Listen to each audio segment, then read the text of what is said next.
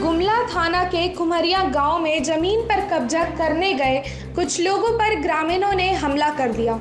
गाड़ी को तोड़ दिया, हथियार लहरा रहे लोगों को बुरी तरह पीटा।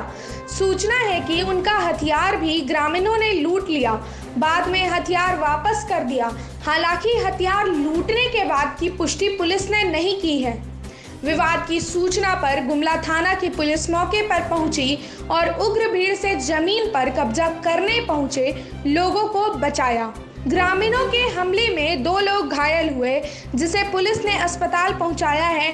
वहीं कई ग्रामीण भी चोटिल हुए हैं। इलाज के बाद घायलों की स्थिति ठीक है।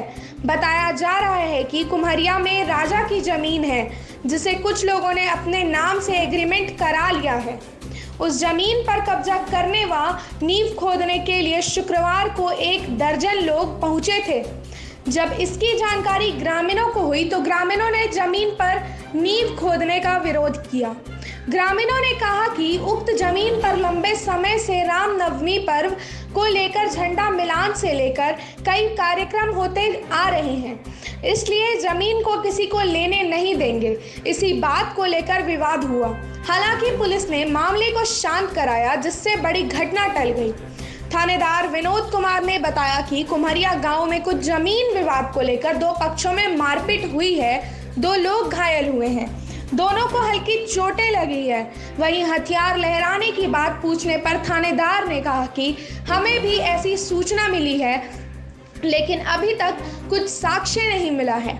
अभी दोनों पक्षों की ओर से कोई लिखित आवेदन नहीं मिला है।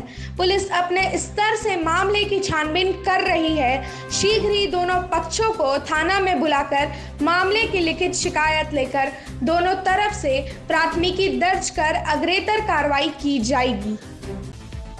अपने राज्य से जुड़ी हर ताज़ा खबरों के लिए आप हमें सब्सक्राइब करें, साथ ही बेल आइकन बटन दबाना ना भूलें।